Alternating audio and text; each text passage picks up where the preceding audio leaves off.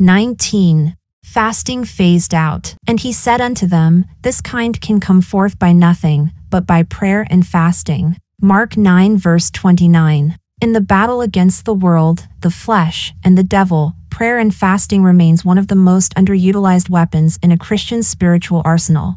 It should come as no surprise that Satan takes such aggressive steps to destroy or neutralize this very important channel to the Almighty. Unfortunately, the modern versions have become his most valuable and effective instrument. The relative importance of any particular biblical subject can easily be determined. Simply study the degree to which it is attacked in the modern versions. The modern version's treatment of fasting is an excellent case in point. Fasting is a sorely neglected Christian discipline relegated by many to a practice associated to only Old Testament saints. For this reason, the vast majority of Christians have never fasted a single time in their lives. The purpose of fasting. Fasting should be an important part of every Christian's life. Christians who truly desire God's intervention should incorporate fasting with their prayer time. Fasting is a practice which enables the soul and spirit to overcome the desires of the flesh. The Apostle Paul points out that he had power with God because he kept his body under subjection. Paul did not allow the desires of the flesh to control his life. As various aspects of fasting are discussed, keep this truth in mind. KJB 1 Corinthians 9 verse 27 But I keep under my body and bring it into subjection.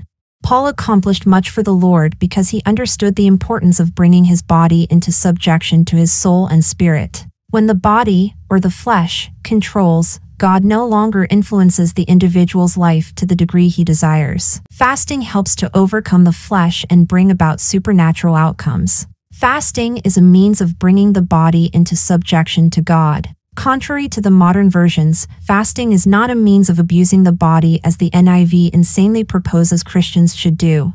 NIV. 1 Corinthians 9 verse 27 No, I beat my body and make it my Slave. Fasting includes many components, much more than simply going without food. Abstaining from any physical pleasures during the period of the fast is one of the most important aspects of an effectively scriptural fast. Refraining from eating satisfies one of the most obvious components of the fast. Forgo physical pleasures.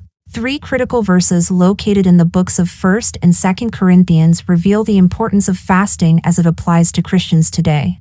The first of these verses reveals that a person must forego participation in pleasures of the flesh, including physical intimacy with a spouse, during the period of the fast in order to give himself to fasting and prayer. KJB 1 Corinthians 7 verse 5 Defraud ye not one the other, except it be with consent for a time, that ye may give yourselves to fasting and prayer, and come together again, that Satan tempt you not for your incontinency.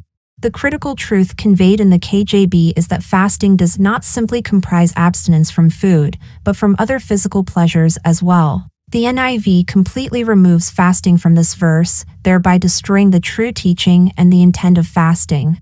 A person reading the NIV is not taught to forego food and other physical pleasures during a fast. NIV. 1 Corinthians 7 verse 5 Do not deprive each other except by mutual consent and for a time, so that you may devote yourselves to prayer. Then come together again so that Satan will not tempt you because of your lack of self-control. The Apostle Paul's writings, as revealed in the KJB, instruct the Christian while fasting to abstain from physical relations with a spouse. The NIV makes very little sense when it omits fasting from the verse leaving only prayer. Common sense demands certain things not to take place during prayer time. Fasting occurs over an extended period and is more continuous in nature than prayer. Few people have prayed without interruption for 24 hours. However, fasting must be uninterrupted in order to be a true fast. Most Christians assumedly do not relegate their prayer time to coincide with physical relations with one's spouse. However, it makes sense that God would need to instruct the Christian to refrain from physical relations during a fasting period. This directive of abstaining from intimacy should be further applied to other flesh satisfying activities, including watching television, going bowling, or any of a variety of other actions. A person fasting should abstain from all activities naturally satisfying to the flesh in order to concentrate the flesh rejecting fast coupled with prayer. The NIV destroys most references to fasting. However, the New Century Version, copyright 1993, deletes every mention of fasting in the passages covering this topic. The NCV is a member of the fourth generation of Bible versions. Gradual deletions by earlier versions like the NIV have brought about the complete removal of fasting in the NCV. Take note how the changes incorporated into the NCV match the NIV in the next passage. NCV 1 Corinthians 7 verse 5 Do not refuse to give your bodies to each other, unless you both agree to stay away from sexual relations for a time so you can give your time to prayer. Then come together again so Satan cannot tempt you because of a lack of self-control. In this case, the NCV matches the NIV. As we will see in other passages, the NCV perverts the truth to a far greater degree than its predecessors do. Ministers approved of God, Paul testified to the fact that he fasted. Although God had instituted the fast in the Old Testament, fasting was an applicable practice for Paul and for us during this church age. Paul wrote that he approved himself as the minister of God in much fastings. KJB. 2 Corinthians 6 verse 4 But in all things approving ourselves as the ministers of God, in much patience, in afflictions, in necessities, in distresses, 5 in stripes, in imprisonments, in tumults, in labors, in watchings, in fastings. The NIV distorts and destroys this record of the fact that Paul spent much time fasting. Simple hunger can arise from a host of reasons besides fasting for a spiritual purpose. NIV. The NIV distorts and destroys this record of the fact that Paul spent much time fasting. Simple hunger can arise from a host of reasons besides fasting for a spiritual purpose. NIV. 2 Corinthians 6 verse 4 Rather, as servants of God we commend ourselves in every way, in great endurance. In troubles, hardships, and distresses, five in beatings, imprisonments and riots, in hard work, sleepless nights, and hunger. The NIV once again distorts the truth. Unfortunately for the modern version reader, the NCV does so to a greater degree. Following the lead of the NIV, the NCV states, Sometimes we get no sleep or food. This passage from the NCV sounds less like a record of Christian fasting and more like a testament of God's failure to provide for Paul's physical and material needs. NCV 2 Corinthians 6 verse 4 But in every way we show we are servants of God, in accepting many hard things, in troubles, in difficulties, and in great problems. We are beaten and thrown into prison. We meet those who become upset with us and start riots. We work hard, and sometimes we get no sleep or food. Hunger versus fasting. God again catches the devil and his cohorts red handed hatching their diabolical plot. The next verse serves as another record of Paul's frequent fastings. This verse from the KJB mentions not only fasting, but also hunger, distinguishing between the two elements. Paul was likely involuntarily in hunger, but voluntarily fasted to promote submission of the body to spiritual matters. KJB 2 Corinthians 11 verse 27 In weariness and painfulness, in watchings often, in hunger and thirst, in fastings often, in cold and nakedness. Fasting should be a very important aspect of the Christian walk with God.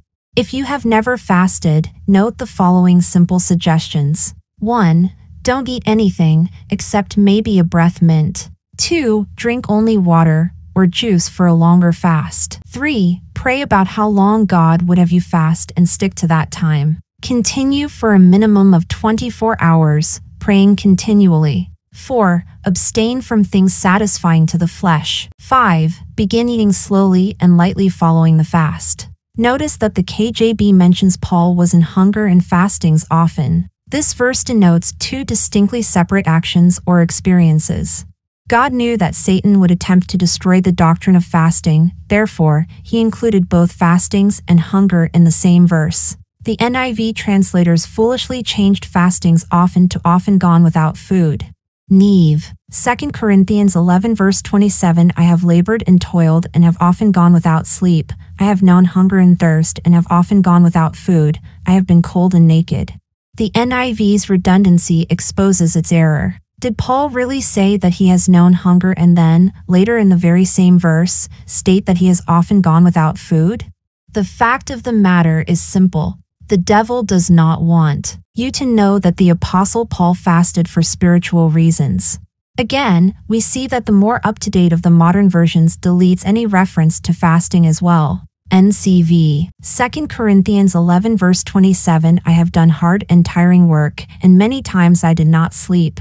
I have been hungry and thirsty, and many times I have been without food. I have been cold and without clothes. In addition to the fasting problem, the NCV makes Paul repeatedly say I five times in one verse associating him with the point made about Lucifer using the word I five times as he sought to overthrow and replace God, Isaiah 14 verses 12 to 14.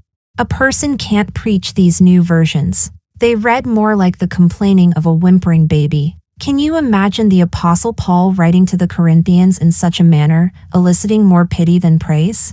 Fasting is not optional. The Lord did not begin his discourse on fasting by qualifying his remarks with the word if. Instead, he began, when ye fast. KJB. Matthew 6 verse 16 Moreover, when ye fast, be not, as the hypocrites, of a sad countenance, for they disfigure their faces, that they may appear unto men to fast. Verily I say unto you, they have their reward. 17 But thou, when thou fastest, anoint thine head, and wash thy face. 18 That thou appear not unto men to fast, but unto thy Father which is in secret, and thy Father, which seeth in secret, shall reward thee openly. The Lord Jesus Christ never directly commanded Christians to fast. Instead, he took it for granted that they would fast and went on to give instructions concerning regulation of the practice. Many read Matthew chapter 6 and conclude that no one should ever know that you are fasting. Many Christians therefore wonder if it is permissible to reveal their fast to others. The Lord Jesus Christ simply pointed out the hypocrisy of people fasting with the wrong motive. One is not to appear to be fasting by using contorted facial expressions. Consciously attempting to appear spiritual before others does not reflect true holiness before God. Any person who fasts to be seen of men fails to possess true holiness. All such hypocrisy is abominable to God. Fasting to overcome addiction. Fasting is the best way to overcome an addiction and to allow a person to grow closer to God. Few things in life give the soul and spirit preeminence over the flesh as fasting does. Accordingly, God blesses the person who scripturally fasts. The NIV removes every reference to the Apostle Paul's fasting, Romans 11 verse 13, 2 Timothy 1 verse 11. Satan waited until a later Bible version to attack the passage in Matthew concerning fasting. All references to fasting retained in the NIV are removed from the NCV. Remember that fasting does not constitute simple abstinence from food, but includes, among other things, abstaining from sexual intimacy with one's spouse. NCV Matthew 6 verse 16 When you give up eating, don't put on a sad face like the hypocrites. They make their faces look sad to show people they are giving up eating. I tell you the truth, those hypocrites already have their full reward. 17 So when you give up eating, comb your hair and wash your face. 18 Then people will not know that you are giving up eating, but your Father, whom you cannot see, will see you. Your Father sees what is done in secret, and he will reward you. When you give up eating, fasting means so much more than simply foregoing a meal or two. It involves rejecting the things of the flesh. Eating is simply one of the more obvious and most prevalent flesh satisfying activities in which we all engage daily. The NCV mentions the word fasting only in its footnotes and defines the practice as giving up eating. As we have already seen, this definition is incomplete and inadequate. No wonder the Bible forecasts Christianity's spiritual shallowness in these last days. A reader of the modern Bible versions cannot find out the truth unless he picks up God's true book. Fasting should never become a religious ritual. Do not be like the religious Pharisee in Luke chapter 18. I fast twice in the week. I give tithes of all that I possess. Luke 18, verse 12. This Pharisee made a ritual of fasting twice every week. Making a ritual of even spiritual things removes the heart far from the matter. Instead, one should make it a rule to fast with the same frequency as the New Testament commands us to partake of the Lord's Supper, for as often as ye eat this bread. 1 Corinthians 11 verse 26. We are not told how often to partake of the Lord's Supper. This is a matter to be settled between the church, its pastor, and God, as the Spirit of God leads each individual church. An individual should fast because his relationship and heart are right with God, and the Spirit of God has led him to fast about a specific matter or for a specific purpose. The act of fasting does not make a person spiritual. Fasting is a personal matter, as is the prayer within one's prayer closet. When God places a fast on your heart, obey Him and He will bless you. He will answer your prayer, and this disciplined practice will strengthen your soul and spirit, helping you to overcome the flesh. Biblical examples The Bible emphasizes three contexts for fasting fasting for others, fasting in order to seek God's help, and fasting for God's guidance and direction. It is hard to adequately express the importance of fasting, but its complete erasure in the most modern versions offers a glimpse. The NIV leaves the following verses somewhat intact, however, the NCV completely destroys the doctrine of fasting.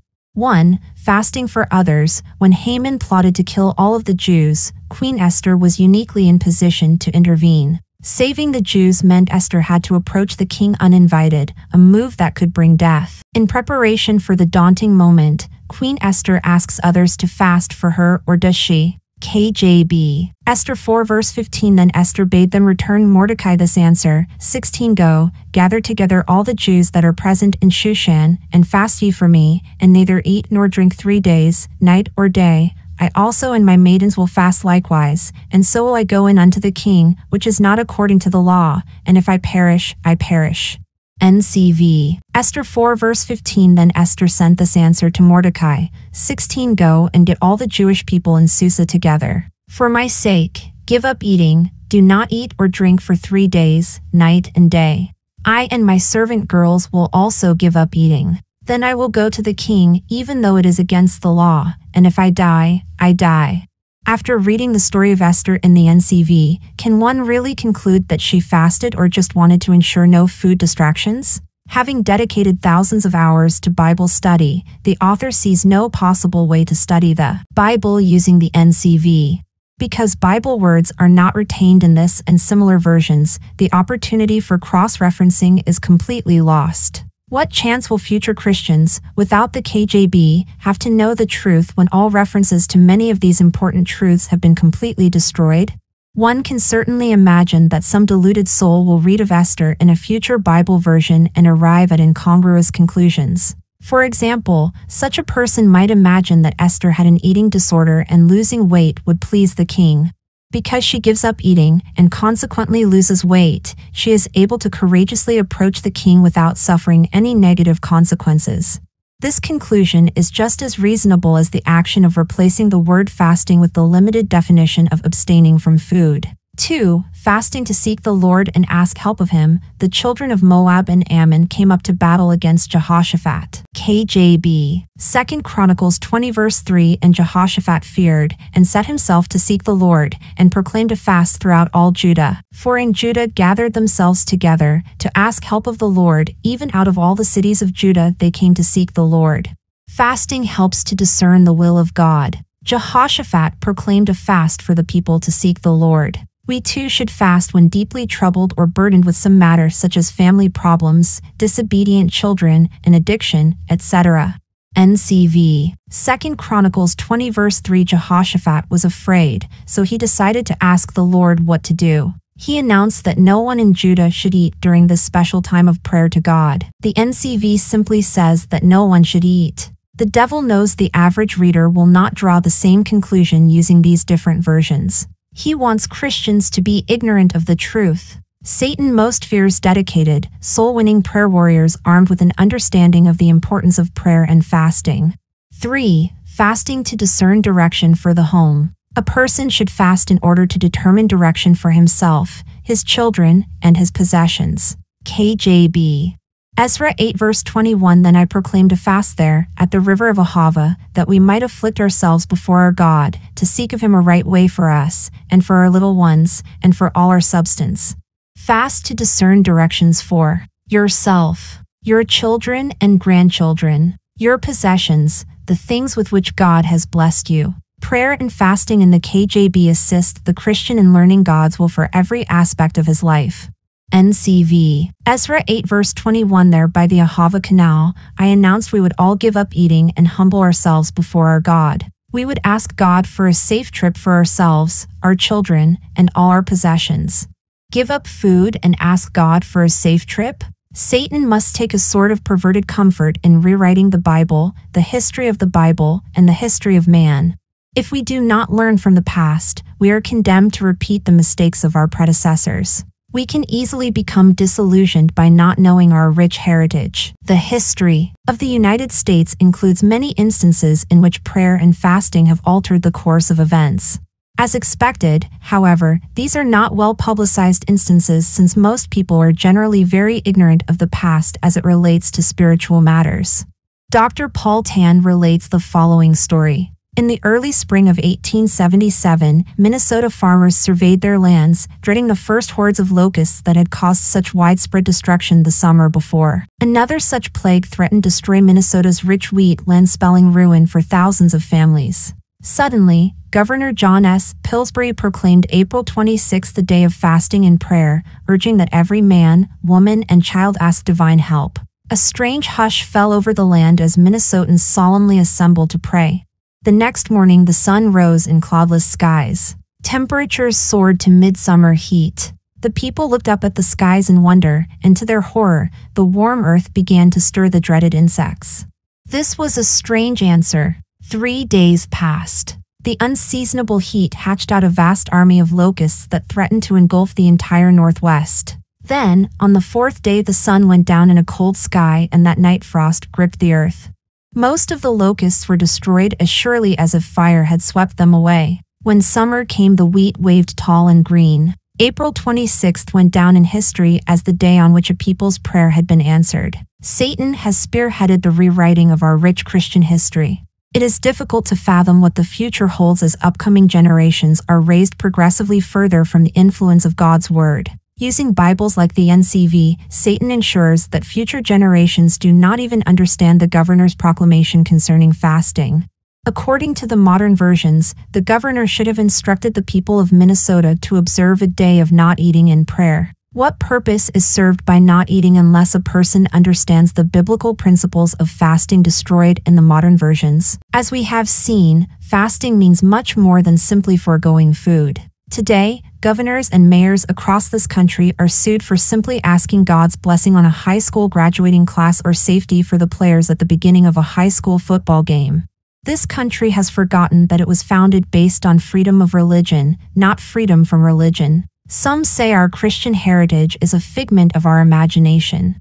Read the Constitution or the Pledge of Allegiance to the flag. Our pledge says, one nation under God. Our coins and paper money say in God we trust. Consider America's heritage 20 to 50 years from now. Men like Minnesota Governor Jesse Ventura will be remembered. In a November 1999 interview, during his comments concerning the legalization of prostitution, he made a statement that organized religion is a sham and a crutch for weak minded people who need strength in numbers. He blames the religious right for the fact that prostitution is not legal in this country.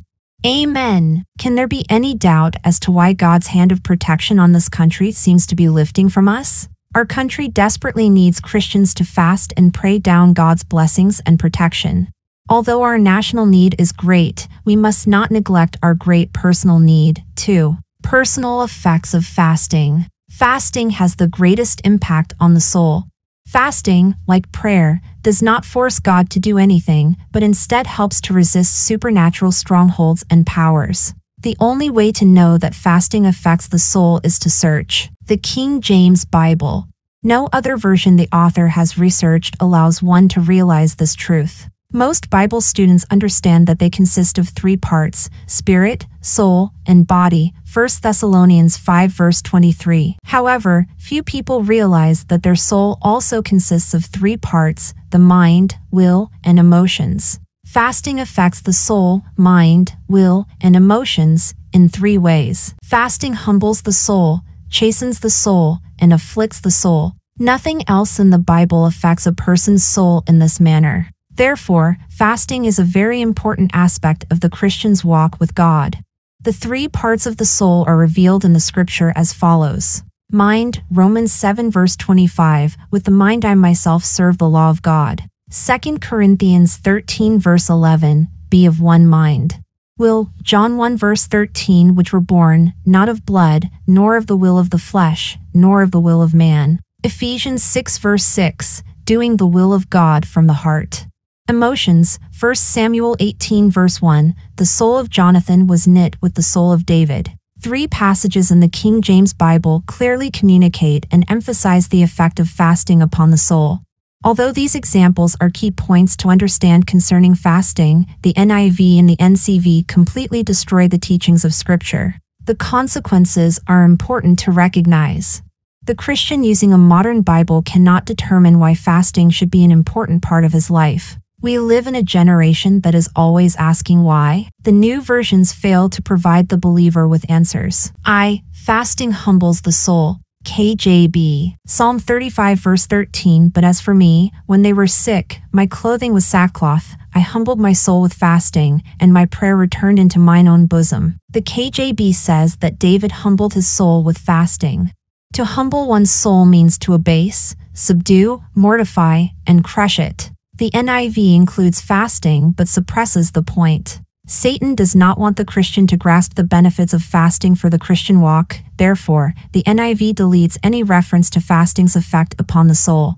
NIV. Psalm 35 verse 13 Yet when they were ill, I put on sackcloth and humbled myself with fasting. When my prayers returned to me unanswered. The NIV says that David's prayer returned to him unanswered, also deleting any reference to the effect of fasting upon the soul.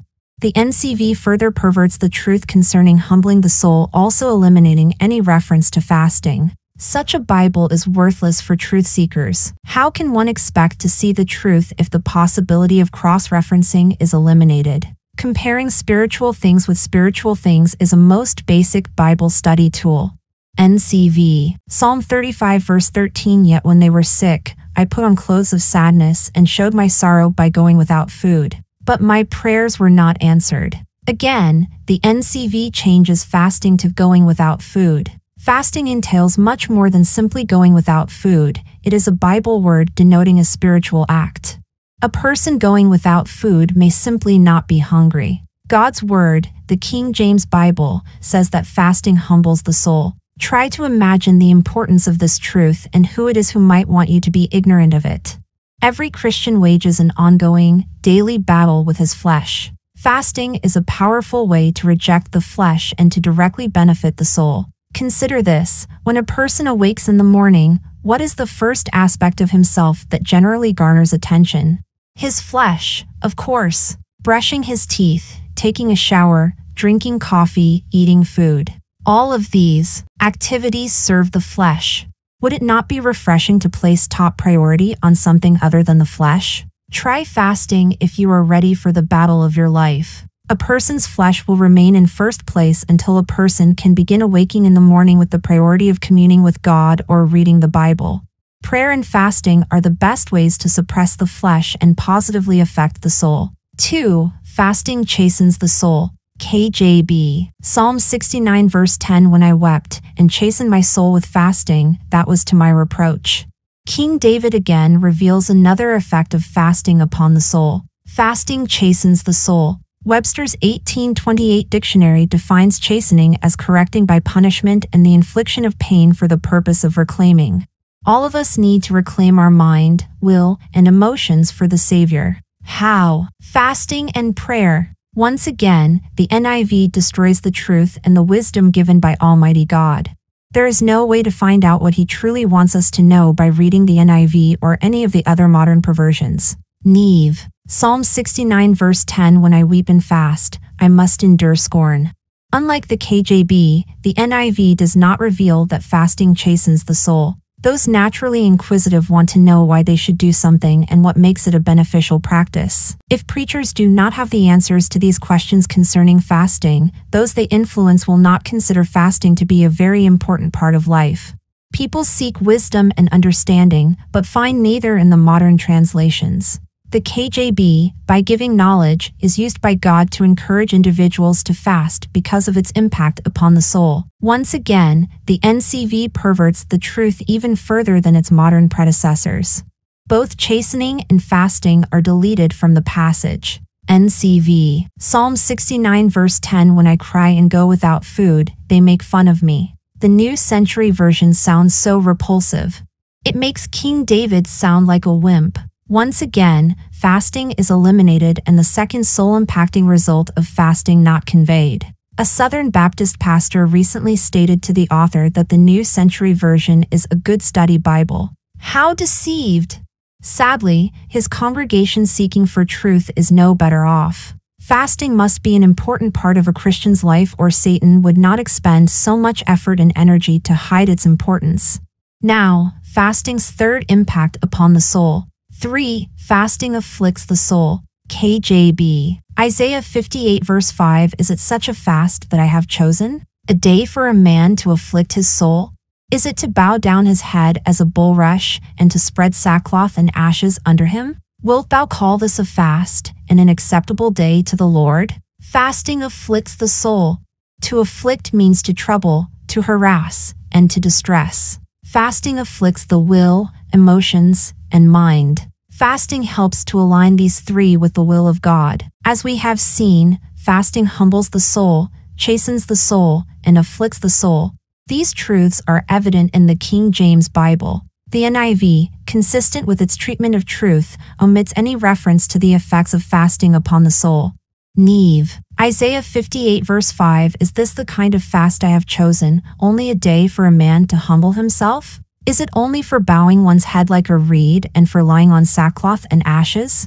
Is that what you call a fast a day acceptable to the Lord? The NIV ensures that the Christian remains ignorant of God ordained truth. One cannot find a single reference in the NIV to the trifold effect of fasting upon a man's soul. Think about that. The fact that all the new versions eliminate these truths should serve as an indicator of how important God considers these truths. The soul altering effects of fasting are not attributable to any other spiritual act of worship. The NCV does not include even half of the information contained in the pitiful NIV. Thus, the NCV guarantees complete ignorance of the necessity of fasting in a Christian's life and walk. NCV Isaiah 58 verse 5 This kind of special day is not what I want. This is not the way I want people to be sorry for what they have done. I don't want people just to bow their heads like a plant and wear rough cloth and lie in ashes to show their sadness. This is what you do on your special days when you do not eat. But do you think this is what the Lord wants? Special days when you do not eat? The NCV follows the lead of the NIV and previous perversions. In typical fashion, however, this perversion goes a step further than its predecessors, purging all semblance of truth. To whom do you attribute this gross perversion of truth? It is hard to miss the satanic influence behind these changes. Principles of fasting. In Isaiah chapter 58, the Lord rebukes those who fasted for the wrong reasons. When God uses His word to correct the Israelites, Bible students should be careful to heed the correction as well. Thus, much can be learned from studying this passage from the book of Isaiah. In this particular chapter, we read that Israel was fasting and yet finding pleasure in their daily routine. KJB. Isaiah 58 verse 3 Wherefore have we fasted, say they, and thou sayest not? Wherefore have we afflicted our soul, and thou takest no knowledge? Behold, in the day of your fast ye find pleasure, and exact all your labors. For behold, ye fast for strife and debate, and to smite with the fist of wickedness. Ye shall not fast as ye do this day, to make your voice to be heard on high. 5. Is it such a fast that I have chosen? A day for a man to afflict his soul? Is it to bow down his head as a bulrush and to spread sackcloth and ashes under him? Wilt thou call this a fast and an acceptable day to the Lord? 6. Is not this the fast that I have chosen? To loose the bands of wickedness, to undo the heavy burdens, and to let the oppressed go free, and that ye break every yoke? These principles of fasting apply to those outside of Israel also. In verse 3, the Lord rebukes the Israelites for finding pleasure in the day of their fast. When a person fasts, he cannot simply continue with normal activities. These daily pleasures are to be avoided during this special time. As we have seen, 1 Corinthians instructs the fasting Christian to abstain from physical intimacy with his spouse during the time of the fast. However, application of this principle runs much deeper when considering the truth conveyed through Isaiah. During a period of fasting and prayer, one's daily routine involving the feeding of one's flesh must be disrupted. How can a person's soul be affected if the individual remains preoccupied with feeding his flesh? The NCV would have the Bible student believe that going without eating is the primary requirement of a fast. Really, one cannot even be certain from reading the NCV that going without eating constitutes a period of fasting. These NCV changes are lies. A Christian fasts when he desires to get in touch with God. The actions and daily activities of the fasting Christian should be recognizably different from the individual's non fasting routine. Isaiah chapter 58, verse 4 says that a person fasts in order to make his voice heard on high. This is an important part of fasting that people all too often neglect. True children of God want to be heard by God. Try fasting and prayer to produce a noticeable difference in your prayer life and spiritual well-being. 2 Samuel chapter 12, which follows, is an excellent example of the fruits of the biblical fast, the potential to change God's mind. The Bible contains many examples of individuals who understood the importance of fasting. King David was just such a person. Nathan tells David in verse 14 of 2 Samuel chapter 12 that his child will die. David fasts and prays attempting to change the outcome of this grave situation. David therefore besought God for the child, and David fasted, and went in, and lay all night upon the earth. 2 Samuel 12 verse 16 Because of David's sin with Bathsheba, and in spite of this well-intentioned fast, the child perished. Your sin too affects others, as well. David's fasting did not bring about the desired results in this particular instance. However, great truths about fasting are discerned from what David tells his servant later in the same chapter. And he said, While the child was yet alive, I fasted and wept, for I said, Who can tell whether God will be gracious to me, that the child may live? 23 But now he is dead, wherefore should I fast? Can I bring him back again? I shall go to him, but he shall not return to me. 2 Samuel 12 verse 22. God pronounced the judgment, and David fasted and prayed attempting to alter the outcome. David's fasting and prayer did not change the pronounced outcome concerning his child. However, as we shall see in the book of Jonah, fasting does hold the potential to change the mind of God concerning the affairs of men. One should recognize the purpose of David's fast as clearly stated in his discussion with his servants. David was trying to change God's pronounced judgment. He wanted his voice heard on high. Once again, the NCV destroys this truth from God's word. NCV. 2 Samuel 12 verse 16 David prayed to God for the baby. David refused to eat or drink. He went into his house and stayed there, lying on the ground all night. According to the NCV, King David refused to eat or drink and lay on the ground all night. The NCV makes no mention of any spiritual purpose for David's actions. A reader of the NCV cannot discern why he refused to eat. Did David refuse to eat because he lost his appetite? Was he throwing a temper tantrum while lying on the ground all night? This passage from the NCV sounds more like the story of a spoiled child than a contrite man desperately reaching out to God. Here is further NCV perversion. NCV. 2 Samuel 12 verse 22 David said, While the baby was still alive, I refused to eat, and I cried. I thought, who knows? Maybe the Lord will feel sorry for me and let the baby live. But now that the baby is dead, why should I go without food? The nonsense of the NCV bears no relation to the truth of God's true word. The NCV says that David refused to eat and spent the night on the floor. These statements evoke connotations more juvenile than spiritual. The NCV says David refused to eat and cried, hoping that the Lord would feel sorry for him. In contrast, when the KJV uses the Bible word fasting, one immediately understands that there was an attempt on David's part to accomplish some spiritual purpose through spiritual means. Ninevites change God's mind. Does fasting with prayer change things? It certainly does. David fasted and prayed with the intent to bring God's grace and mercy upon him and his child. David believed that his actions, fasting and prayer, could positively impact the outcome. David did not change God's mind. However, in the book of Jonah, the people of Nineveh did change God's mind, escaping his judgment through fasting and prayer. The people of Nineveh got their hearts right and changed their evil ways. Fasting and prayer can change you, too. KJB. Jonah 3 verse 4 And Jonah began to enter into the city a day's journey, and he cried, and said, Yet forty days, and Nineveh shall be overthrown.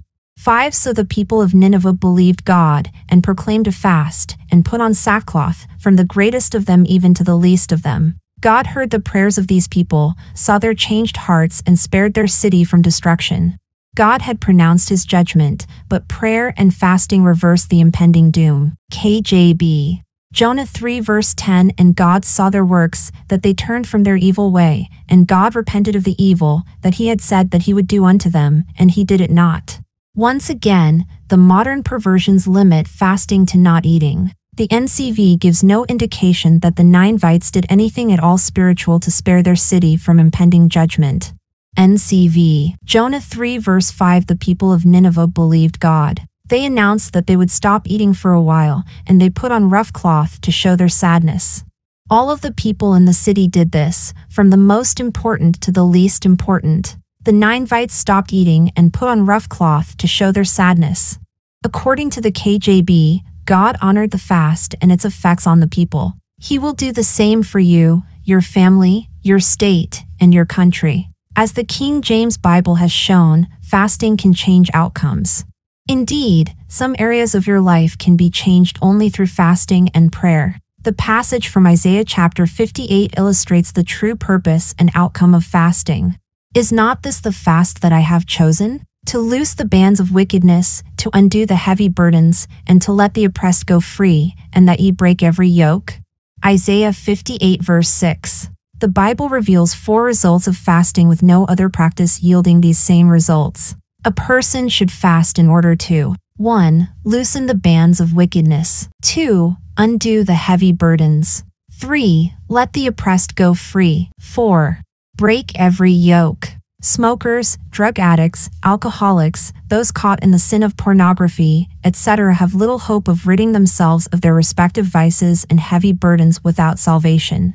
What hope is there for the Christian who has strayed away and become enslaved to these or other addictive behaviors? Fasting and prayer can be the difference between failure and success. However, the application of fasting should not be limited to remedying someone else's sinful condition. A marriage that is on the rocks, contrary children and individuals in any type of wickedness can all benefit from heartfelt submission to the Lord through fasting and prayer.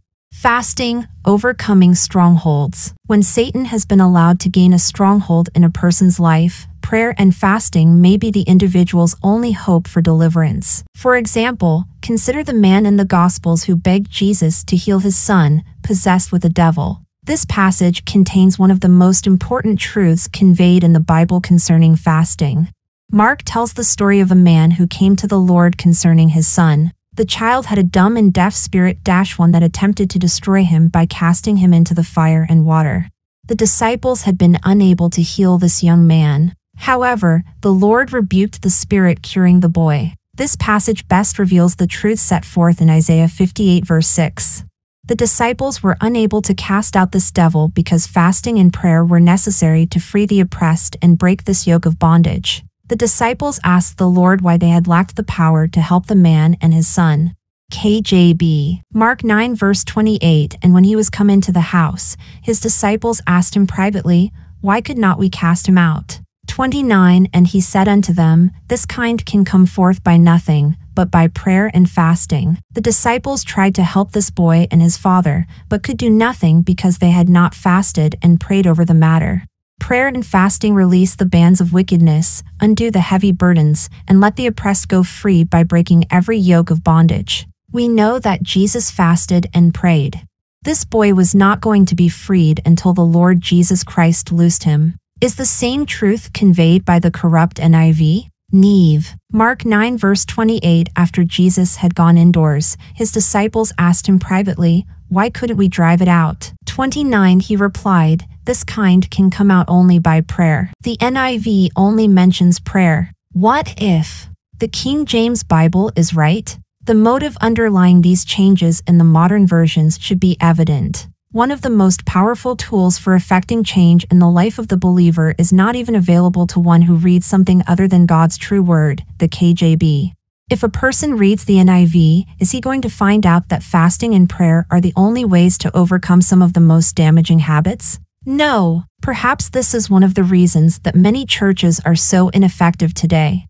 Maybe this is why churches have so many families falling apart with little hope in sight.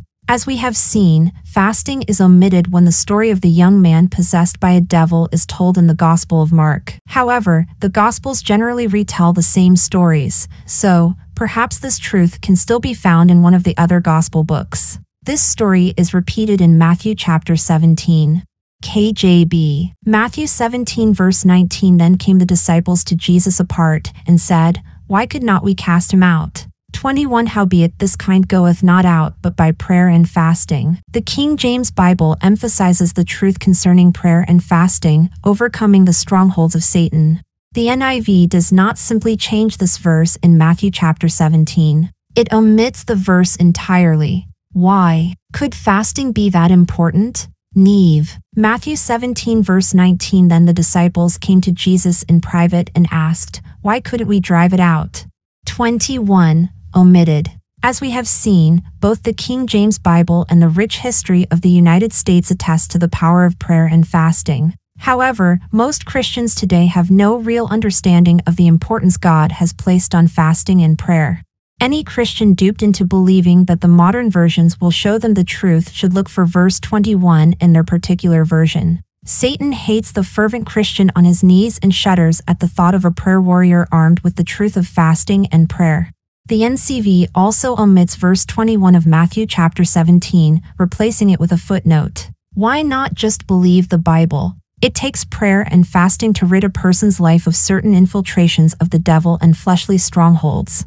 If Satan has achieved victory in a particular area of your life, whether it is drugs, alcohol, tobacco, television, lust, lying, unforgiveness, pornography, etc., why not implore God to intervene? Barclay Newman, senior translator on the contemporary English version, said, We have aimed at the ear more than the eye. You can read aloud without stumbling and hear without misunderstanding. Newman, who holds a doctorate from a Southern Baptist theological seminary, claims that the CEV tries to remain loyal to the meaning of the King James Version of the Bible without being bound to its exact wording. By comparing only a few of the scriptures, one can see how drastically the modern versions have affected major doctrines. Man cannot alter God's word and remain guiltless. God will hold him accountable, Americans are ignorant of their rich Christian heritage, just as they are ignorant of the impact of God's word upon our forefathers. Too many have failed to realize Satan's masterful work of deception. Wake up before it is too late. We need to pray and fast for ourselves, our families, our churches, and our nation. Humility is the key. America has somewhat of a unique responsibility. Our blessings came through our reverence to the Lord Jesus Christ. Only the church's return to Him can restore our nation's true greatness. Only the Christian's humble act of submission through prayer and fasting can effect the change this nation greatly desires and needs. Are you doing your part? 1 Timothy 2 verses 1 to 2. 20. Blame it on the press. The term for major revisions is a misnomer, and as such, is grossly misleading. There were no true revisions in the sense of updating the language or correcting translation errors. Point 1 Floyd Nolan Jones. Since the devil coached the first woman how to question, add to, and subtract from the words of God, men and women have been handling the word of God deceitfully. 2 Corinthians 4 verse 2. From Cain to Balaam, from Jehudi to the scribes and Pharisees, from the Dark Age theologians to present day scholars, man's corrupting hand has targeted the living words of the Almighty God. The attacks on the Word of God are threefold addition, subtraction, and substitution. From Adam's day to the computer age, the strategies have remained the same. Indeed, there is nothing new under the sun. One attack which is receiving quite a bit of attention these days is a direct attack on the Word of God as preserved in the English language, the King James Bible of 1611. The attack referred to is the Myth 2 which claims that since the King James Bible of 1611 has already been revised four times, there should be and can be no valid objection to other modern revisions. This myth was used by the English revisers of 1881 and has been revived in recent years by fundamentalist scholars hoping to sell their newly produced version or to justify their support for their favorite translation now plugged as the next best thing. Many examples can be provided to demonstrate this problem. For instance, read the statement from the Committee on the Bible's Text and Translation from Greenville, South Carolina, found in From the Mind of God to the Mind of man. In an effort to convey the inspired word in the language of the readers, more than one translation may be produced in one given language. In an effort to improve accuracy, these translations may go through numerous revisions. Even the revered King James Version has gone through at least four major and numerous minor revisions. These revisions are often necessary because living languages are constantly changing in their vocabularies and structures. Emphasis mine. Later in the same book we read, there have been numerous revisions since 1611. During the next 33 years alone, there were at least 182 editions, each differing in some way from the others, for this statement on the surface is quite inflammatory, equating the printing of editions with the word revisions. It is complete spiritual infidelity for the contributor of the referenced book to imply that somehow these 182 printed editions of the KJB from 1611 to 1644 compare to the textual changes incorporated into the text by modern version producers. However, if the early KJB editions did in fact differ from their predecessors even in minute ways, this simply confirms the inaccuracy of the early printing methods which is the premise of this chapter. The intention of this chapter is to answer this argument.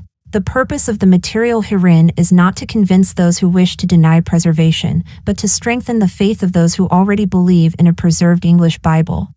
The present chapter provides believers in preservation with the tools necessary to convince the gainsayers. Titus 1 verse 9. One major question repeatedly arises concerning efforts to counter attacks upon the words of God.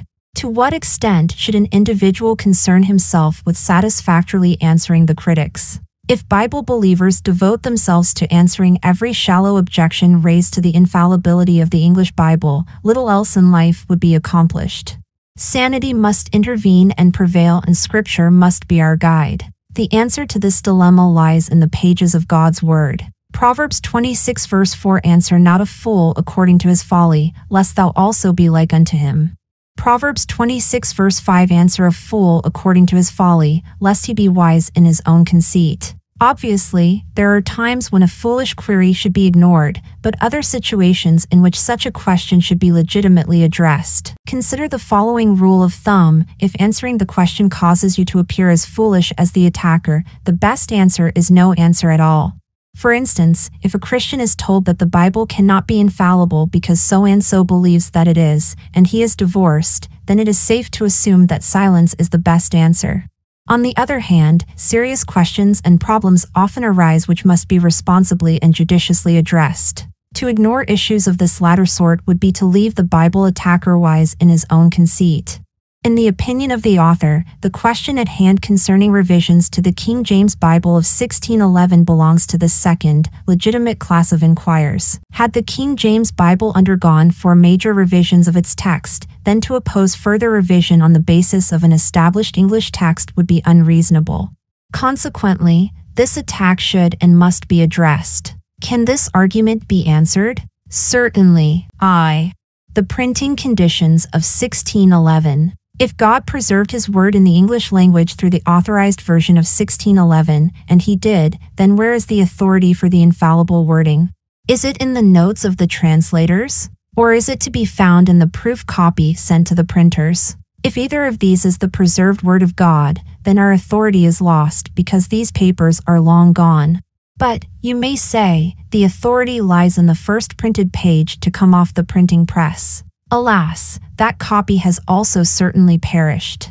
In fact, since the printing of the English Bible followed the pattern of most printing jobs, the first pages printed were probably discarded after careful scrutiny because of poor quality. That leaves us with existing copies from the first printing. These are the copies often revered as the standard, against which all other King James Bibles are to be compared. But are they? Did those early printers of the first edition not make printing errors? Does the preservation of God's infallible word rely precariously on perfect printing? One principle must be established at the outset of this discussion. The authority for the preserved English text is not found in any human work. The authority for our preserved and infallible English text lies in God and Him alone. Printers will fail at times and humans will continue to make plenty of errors, but God in His power and mercy will preserve His text despite the weaknesses of fallible man. Now, let us examine the pressures a printer faced in the year 1611. Although the printing press was invented in Germany in 1450 by Johann Gutenberg, 161 years before the 1611 printing, printing equipment changed only minimally during the intervening span of time. In the year 1611, printing remained an extremely slow, tedious, and laborious task. All type was set by hand, one piece at a time, through the duration of the entire Bible, and errors were an unfortunate but expected element of any printed book. Because of this difficulty, and also because the 1611 printers had no earlier editions from which to profit, the very first edition of the King James Bible contained a number of printing errors. As demonstrated later, however, these errors were not the sort of textual alterations freely made by the modern version publishers. Instead, they were simple, obvious printing errors of the sort that can still occasionally be found in recent editions in spite of the numerous advantages of modern printing technology. Such printing errors did not and do not render a Bible useless, however, they should be corrected in future editions slash printings. The two original printings in 1611 of the authorized version demonstrate the difficulty of printing without making mistakes. Both editions were printed in Oxford. Both were printed in the same year, 1611. The same printers did both jobs. Most likely, both editions were printed on the same printing press equipment. Yet, in a strict comparison of the two editions, approximately 100 textual differences can be found. In the same vein, the King James critics can find only about 400 alleged textual alterations in the King James Bible after 375 years of printing and four so-called revisions. Something is rotten in Scholarsville. The time has come to examine these alleged revisions. Here is another example of this devious philosophy, as recorded in From the Mind of God to the Mind of Man. What is the significance of two separate 1611 KJV editions? How can I say I have an original 1611 KJV if there were two different editions with numerous discrepancies in the very first year of publication? A revision was done, probably 1613. Almost every edition from the very beginning introduced corrections and unauthorized changes and additions, often adding new errors in the process though the changes in this edition were minor, they still numbered over 300. Emphasis mine. This statement says that these changes and additions were unauthorized. Could simple printing corrections be considered unauthorized? Where is the proof and documentation for these allegations? 2. The four so-called revisions of the 1611 KJB. Much of the information contained in this section is excerpted from a book by F.H.A. Scrivener entitled The Authorized Edition of the English Bible, 1611, its subsequent reprints and modern representatives. This book is as scholarly as its title conveys. An interesting point to note is that Scrivener, who published his book in 1884, was a member of the Revision Committee of 1881. However, he disagreed with the actions of the committee on numerous occasions. In a section of Scrivener's book devoted to addressing the KJV revisions, one initial detail is striking. The first two so called major revisions of the King James Bible occurred within 27 years of its original printing. According to the philosophy of modern version production, the English language must have been changing very rapidly in those days to warrant two revisions in 27 years. The 1629 edition of the Bible printed in Cambridge is said to have been the first revision. A revision it was not. A careful correction of earlier printing errors it was. Not only was this edition completed just 18 years after the 1611 translation was completed, but two of the men who participated in the 1629 printing, Dr. Samuel Ward and John Bois, had contributed to the original translation of the King James Bible. Was anyone more eminently qualified to correct early printing errors than two of the men who had worked on the original edition? Only nine years later, and again in Cambridge, another edition of the King James Bible was published. This edition is purported to have been the second major KJB revision. Both Samuel Ward and John Bois were still alive, but it is not known if they participated in the printing of this edition. Scrivener, who worked on the English Revised Version of 1881, agreed that the Cambridge printers had simply reinstated words and clauses overlooked by the 1611 printers and amended obvious errors. According to a study detailed later in the chapter, 72% of the approximately 400 textual corrections in the KJB were completed by the time the 1638 Cambridge edition was printed, only 27 years after the original printing. These editions were not instigated by a committee who decided that words had been translated incorrectly and needed to be updated. Instead, the later editions were necessary so that spelling could be corrected. The first two so-called revisions were actually two stages of one process, the purification of early printing errors. The last two so-called revisions were two stages in another process, the standardization of spelling.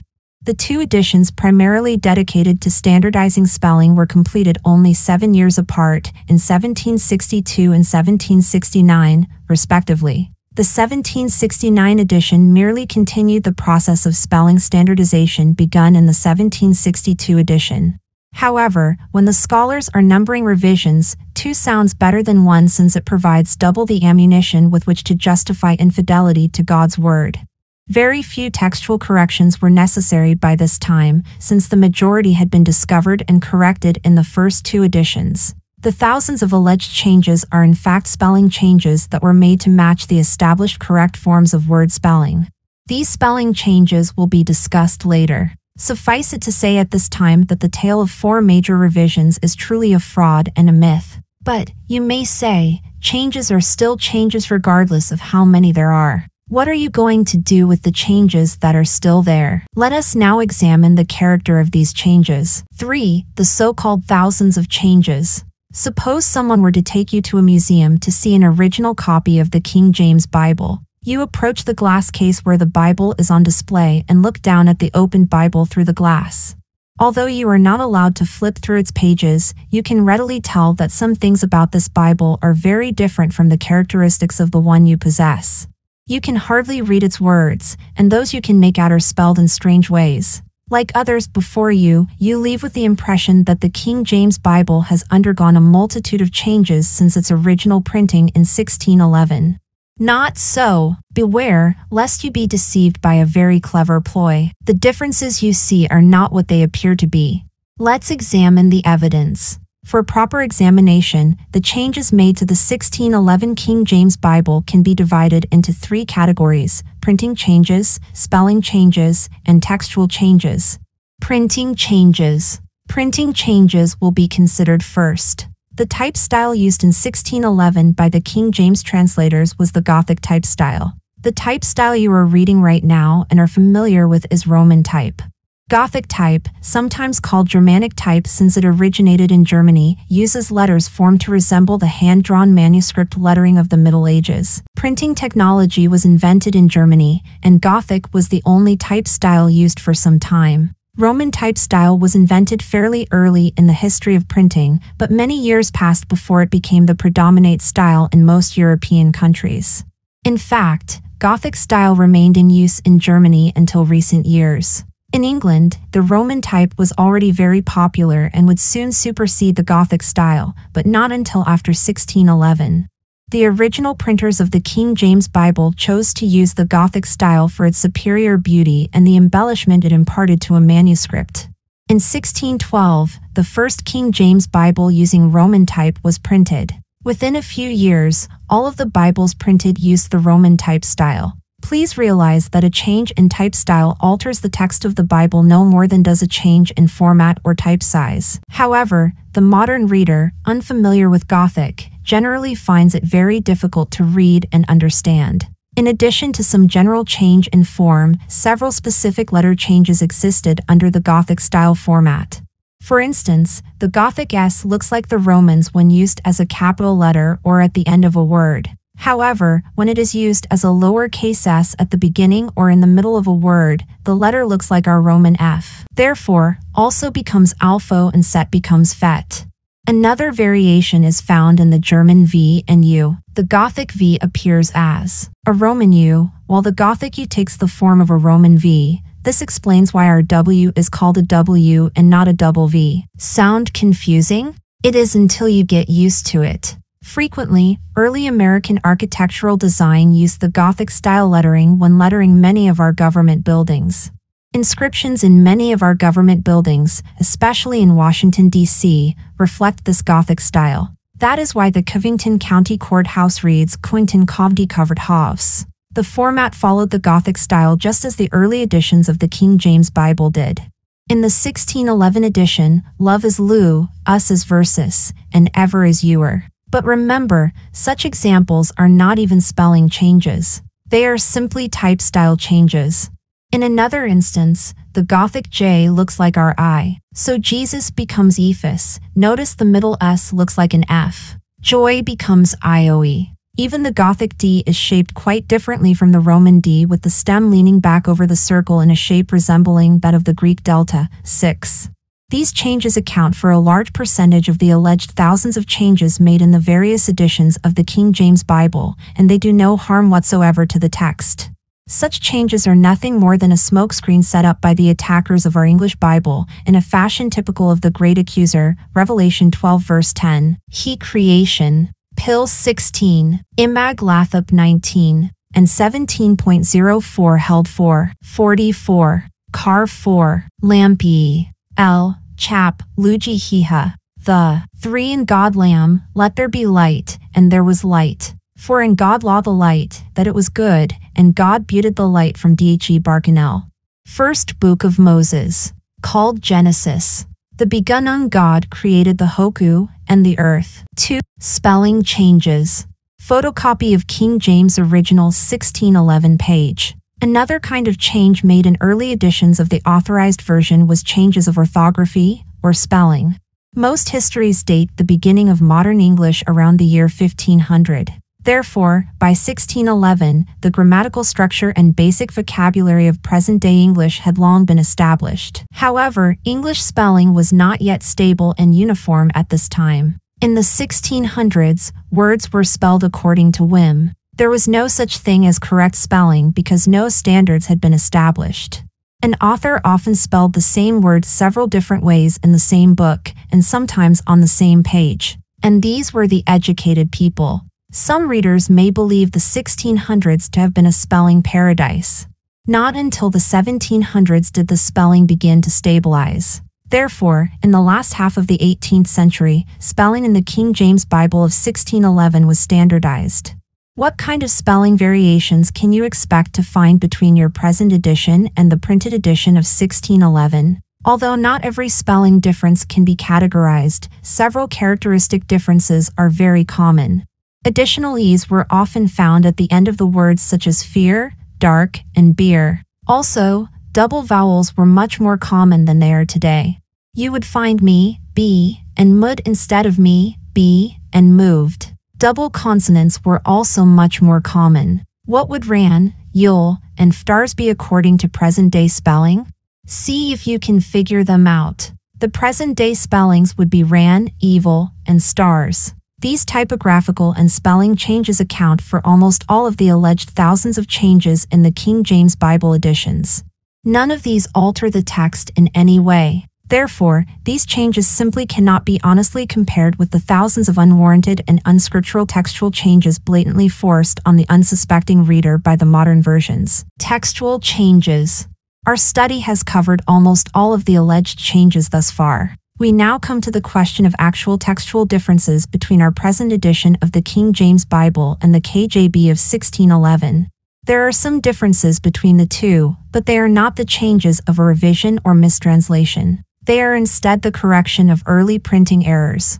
By considering the facts, this truth becomes evident. We will examine and consider 1. The character of the changes. 2. The frequency of the changes. 3 the timing of the changes, the character of the changes. First, let us look at the character of the changes made since the time of the first printing of the Authorized English Bible.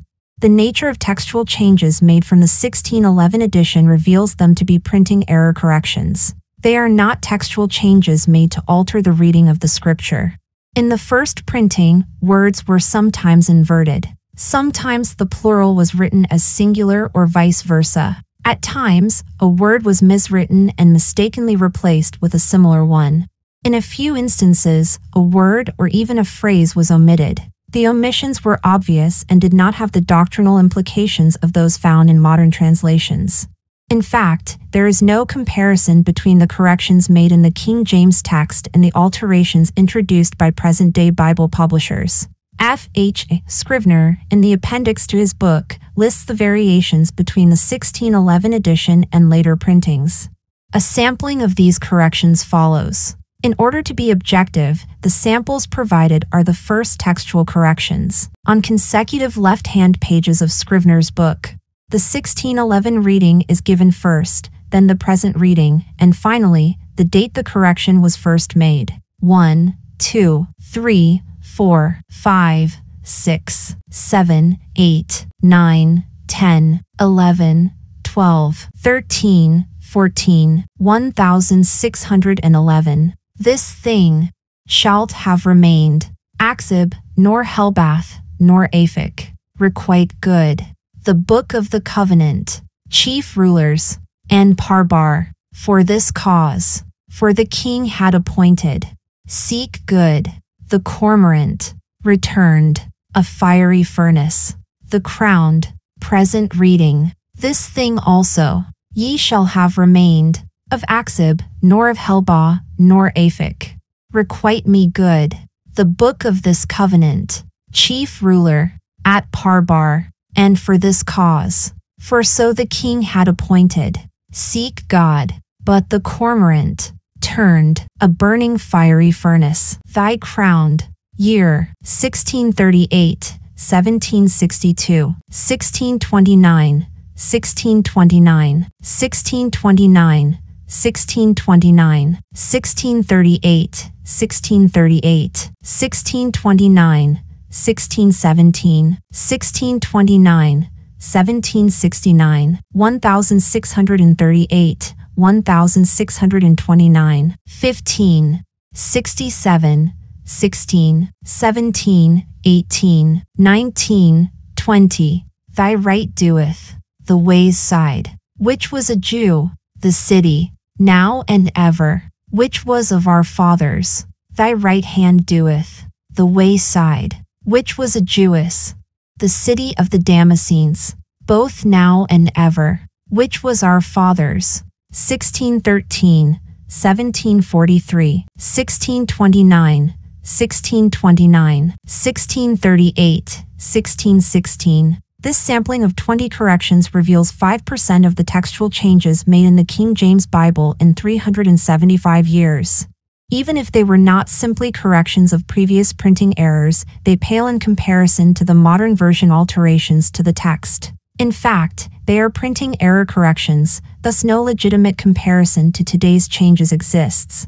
Examine the list carefully for yourself you will find only one variance which has potentially serious implications. The change referred to is found in Psalm 69 verse 32, in which the 1611 edition stated seek good. See number 10 above. In fact, in an examination of Scrivener's entire appendix, this is the only variation found by Dr. David Reagan that could be accused of having any significant doctrinal implications. Nevertheless, the facts reveal this discrepancy between the two editions to be nothing more than a printer's error. First, note the similarity between the spellings of the two words, good and God. It is not hard to imagine how a weary typesetter could have misread the proof and inserted the wrong word into the text. Second, the error was so obvious that it was caught and corrected in the year 1617, only six years after the original printing and long before the mythical so called first revision. The nature of the myth that there have been several major revisions to the 1611 KJB should be clearing up. But there is more. Further research by Dr. Reagan reveals some interesting facts. In Middle English, up to the year 1500 or so, good was spelled in several ways. It could be spelled as good, good, good, goud, good or god. The last spelling, God, was the most common spelling of good in Old English and corresponded to gut in German. The copyists may have thought they were only updating the spelling of good from the earlier spelling, God. No matter how the error crept in, it is obvious that neither this change nor the others support modern version producer claims that the KJB has been revised. The frequency of the changes. Not only does the character of these changes reveal them to be printing errors, so does their frequency. Modern scholarship referred to the thousands of revisions made to the 1611 as if they were similar in magnitude to revisions found in the recent Bible versions. They are not. The overwhelming majority of changes to the KJV 1611 are either type style or spelling alterations. The few remaining changes are clearly printing errors corrections. The preceding list of changes from early editions of the King James Bible demonstrates Scrivener's care to list all the variations. Yet, in spite of the tremendous effort expended to this end, only about 400 variations are named between the 1611 edition and the modern King James copies. One can well imagine how difficult it must have been to typeset the entire Bible, one letter at a time. It was so difficult that 100 variations were found between the first two Oxford editions, both printed within the first year, 1611, of publication. Since there are almost 1,200 chapters in the Bible, the average variation per chapter, after 375 years, is one correction for every three chapters. These are changes such as chief rulers to chief ruler and in parbar to at parbar. Still, an additional piece of the evidence conclusively proves that these variations were simply printing error corrections the early date at which they were made. The timing of the changes. The character and frequency of the textual changes plainly separates them from alterations in the modern versions. However, the time at which the changes were made settles the issue absolutely for those truly seeking the truth. The great majority of the 400 corrections were made within a few years of the original printing. Take, for example, our earlier sampling. Of the 20 corrections listed, one was made in 1613, one in 1616, one in 1617, eight in 1629, five in 1638, one in 1743, two in 1762, and one in 1769. 16 out of 20 corrections in the aforementioned sample, or 80%, were made within 27 years of the 1611 printing. In another study, made by examining every other page of Scrivener's appendix in detail, 72% of the textual corrections were made by 1638. This definitely does not indicate a long drawn-out series of revisions the scholars would have you believe. Thus, there is no revision issue. An imperfect method was used to print the Bibles, and the imperfections were simply found and corrected. God purposefully did not drop a supercomputer from heaven in 1611 so that those looking for reasons to distrust God's promise of supernatural preservation would have many. The character of the textual changes is that of obvious errors. The frequency of the textual changes is sparse, occurring on average only once in every three chapters of the Bible.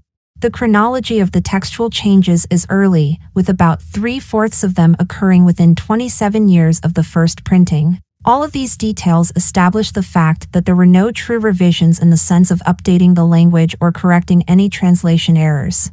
There were only additions correcting early typographical errors. The source of authority for the exact wording of the 1611 authorized version is not in the existing copies of the first printing. Instead, the source of authority for the exact wording of our English Bible is in the preserving power of Almighty God. Just as God did not leave us the original autographs to fight and squabble over, neither did he see fit to leave us the proof copy of the translation. Our authority is in the hand of God, not the imperfections of man or our technological inadequacies.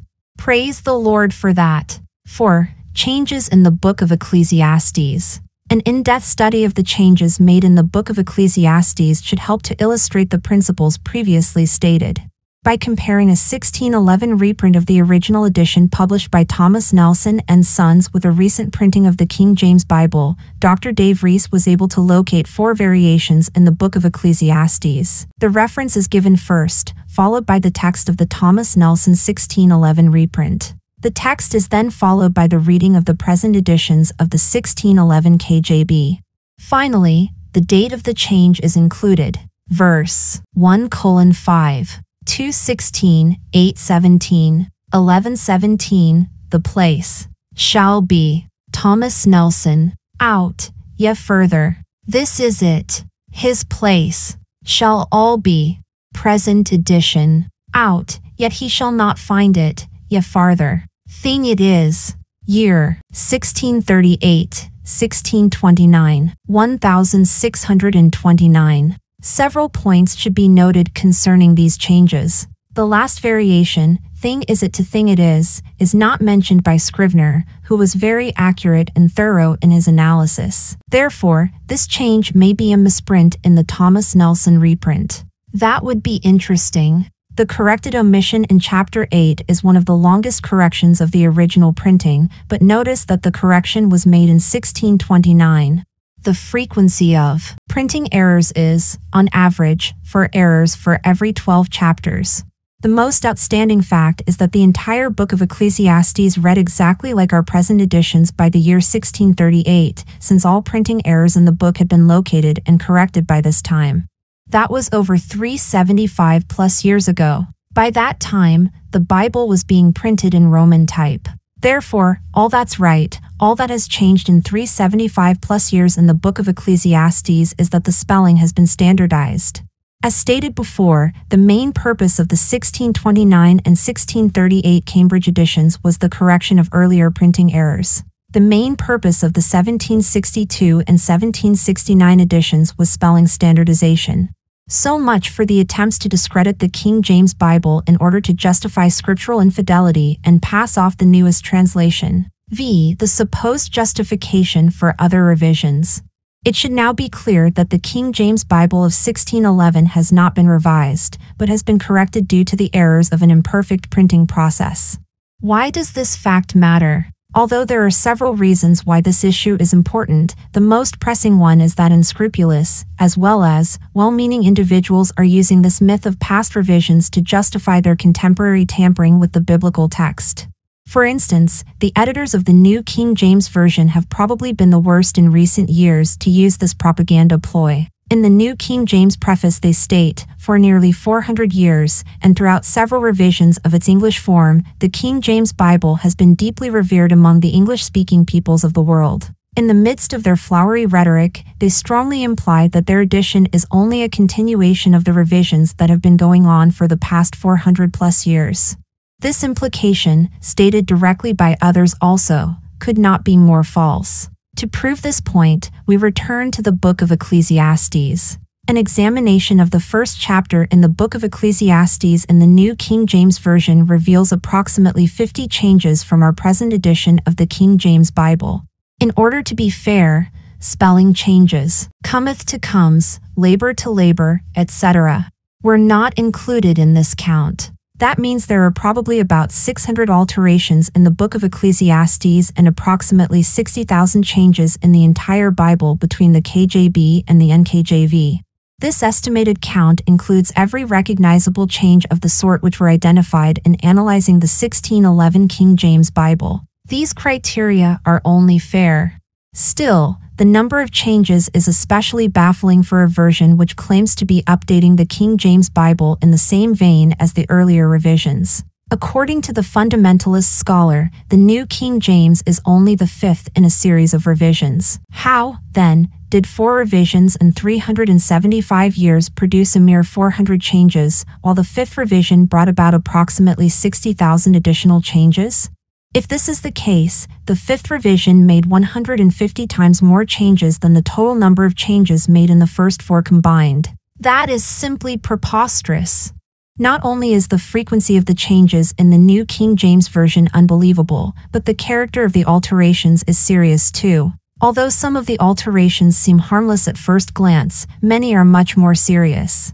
The editors of the New King James Version were sly enough not to align themselves with the most serious blunders of the other modern versions. Yet, they were not afraid to change the reading in those places unfamiliar to the average King James user. In these areas, the New King James Version is dangerous. Below are some of the more harmful alterations made in the Book of Ecclesiastes in the NKJV. The reference is given first, followed by the reading from the King James Bible, and then the reading from the New King James Version. Ref 113, 114, 116. King James. Sore travail, vexation of spirit. My heart had great experience of wisdom. New King James. Grievous task, grasping for the wind. My heart has understood great wisdom. 2 colon 3, 221, 310, 311, 318, 318, 322, 4 colon 4, 5 colon 1, 5 colon 6, 5 colon 6, 5 colon 8, 520, 6 colon 3, 729, 8 colon 1, 810, to give myself unto equity, the travail which God hath given, the world, that God might manifest them. They themselves are beasts. Portion, right work, keep thy foot, the angel, thy voice, he that is higher than the highest. God answereth him, untimely birth, inventions, boldness, the place of the holy, to gratify my flesh with guiding, skill, the God given task, eternity, God tests them, they themselves are like beasts, heritage, skillful work, walk prudently, the messenger of God, your excuse, high official, God keeps him busy, stillborn child, schemes, sternness, the place of holiness, 10 colon 1, 10 10, 10 10, 12 colon 9, 12 11. Dead flies cause the ointment of the apothecary to send forth a stinking savor. If the iron be blunt, wisdom is profitable to direct. Gave good heed, the masters of assemblies. Dead flies putrefy the perfumer's ointment. If the axe is dull, wisdom brings success. Pondered, scholars. This represents only a sampling of the changes in the book, but notice what has been done. Equity, which is a trait of godliness, becomes skill. 221. The world becomes eternity. 311. Man without God is no longer a beast, but just like a beast. 318. The clear reference to deity in Ecclesiastes 5 verse 8, he that is higher than the highest, is effectively removed and changed to higher official. But since success is what wisdom is supposed to bring us, 1010, this must be progress. At least God is keeping the scholars busy. 520. Probably the most revealing of the aforementioned changes is the last one listed, in which the masters of assemblies become scholars. According to the New King James Version, the words of scholars are like well driven nails, given by one shepherd. The masters of assemblies are replaced by the scholars who become the source of the shepherd's words. That is what these scholars would like us to think, though not true. In conclusion, the New King James Version is not a revision in the vein of former editions of the King James Bible. It is instead an entirely new translation, qualifying for its own copyright. As stated in the introduction, the purpose of this chapter is not to convince those who use the other versions. The purpose of this chapter is to expose a fallacious argument that has been circulating in what used to be Bible believing circles. The proposition that the New King James Version and others like it is nothing more than a continuation of revisions made to the King James Bible since 1611 is simply an overblown myth. The most glaring error in this theory is that there have been no such revisions. The King James Bible of 1611 has not undergone four, or any, major revisions. Therefore, the New King James Version is not a continuation of what has gone on before. The NKJV should, in fact, be called the Thomas Nelson version. Thomas Nelson holds the copyright. The King James Bible we have today has not been revised, but purified. There is still no reason to doubt that the Bible we hold in our hands is the very Word of God preserved for us in the English language. The authority for its veracity lies not in the first printing of 1611, nor in the character of King James I, nor in the scholarship of the 1611 translators, nor in the literary accomplishments of Elizabethan England, nor even in the Greek received text. Our authority for the infallible words of the English Bible lies in the power and promise of God to preserve His Word. God has the power. We have His Word on it.